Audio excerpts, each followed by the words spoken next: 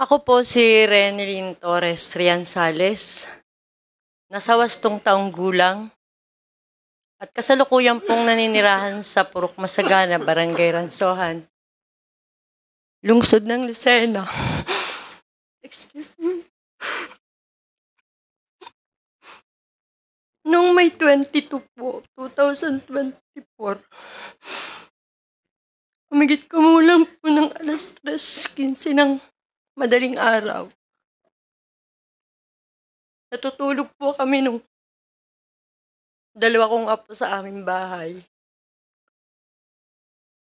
Nagulat na lang po ako nang bigla pong lumagabong yung pintuan ko sa harap ng bahay ko. Sum- umimik po sila ng pulis, pulis. Dapa. Kamay sa likod. Sabay tanong po ng habang nakatutok yung baril sa akin. Tinatanong po nila si Jonathan kung nasaan. Sabi ko po ay nasa trabaho. Ang pinagtataka ko po, bakit po sila pumasok ng bahay ko nang wala pong warrant o wala pong abiso sa akin? Ang sumilid lang po sa isip ko, nagsalaysay po ako dito sa Kongreso noong May 22. Nangyari po ay May 24.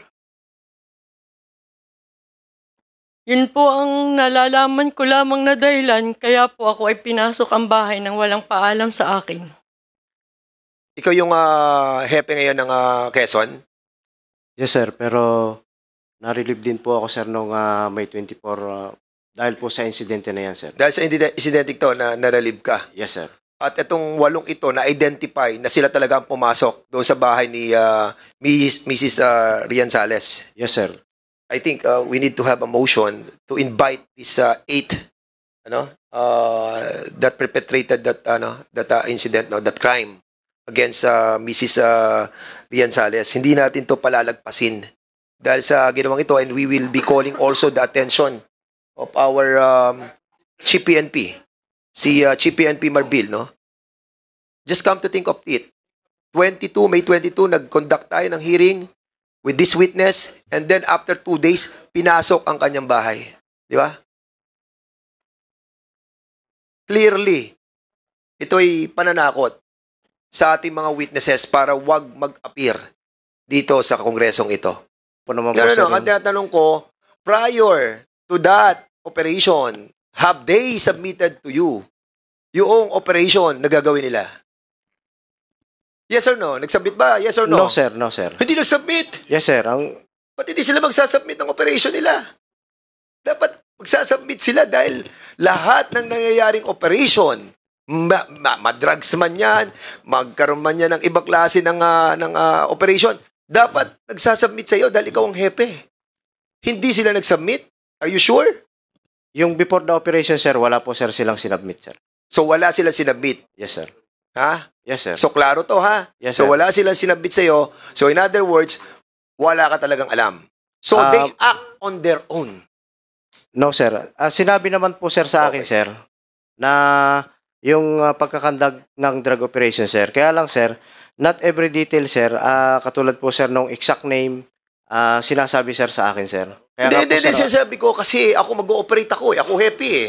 Di ba? Pag nag-ooperate ako, andito mga tao ko. Sir, meron pa ngayon kami i-operate dito. Ha? At ito po ang gagawin namin. Ito ang team namin. Sasubmit po namin sa inyo for your approval. Meron ba noon? Wala. wala po, sir. O, so kaya nga, they acted on their own. Yes, sir. Okay, so maliwanag. Epe, ah, alam mo na may operation. Yes po, sir.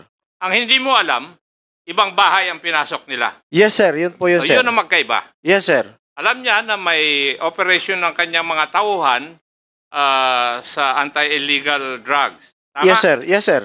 Ang problema, hindi mo alam na mali yung ginawa nila. Yes, sir.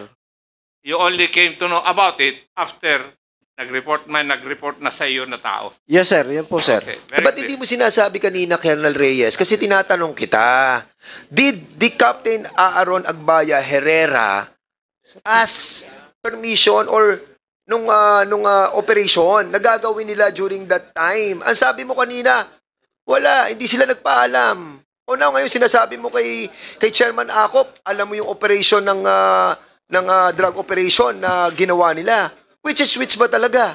Sir, Dali, sandali muna. ha. Ano, um, Colonel Reyes, uh, uh, to all the uh, resource speakers who are here right now, lahat ng mga opisyales at men and officers of the organization, don't get offended. Hindi po to para sa lahat. Ito lamang po ay sa mga nagsisinungaling na opisyales ng ating PNP. And I want you, Colonel Reyes, to tell us the truth, no? Kasi kanina tinanong kita, di ba?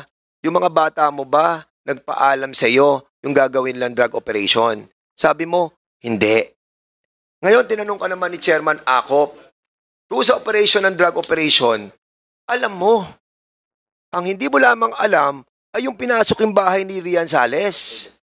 Now ngayon, ano, ano ba ang katotohanan? Kaya kayo nagtatalo ni Congressman Paduano eh. Kasi ngayon, sinasabi mo, nalaman mo lang after the post-operation na meron pala silang conduct na drug operation. Ano ang totoo? yun, yun po sir yung ah, totoo sir. Kasi sir, dalawa yung target nila sir. Ano ang totoo? si ito, Chris- ito. Isa-isayin na natin. Nalala Sir. ha?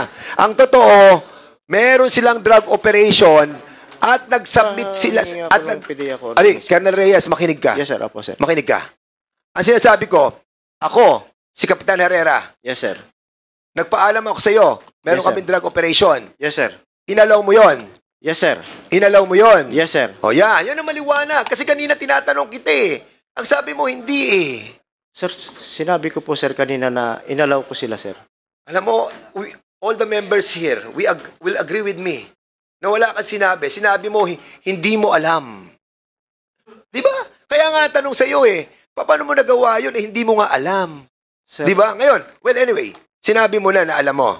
Yes sir. Alam mo na. Yes sir. Okay, have they submitted to you a written request for that drug operation? Wala sir.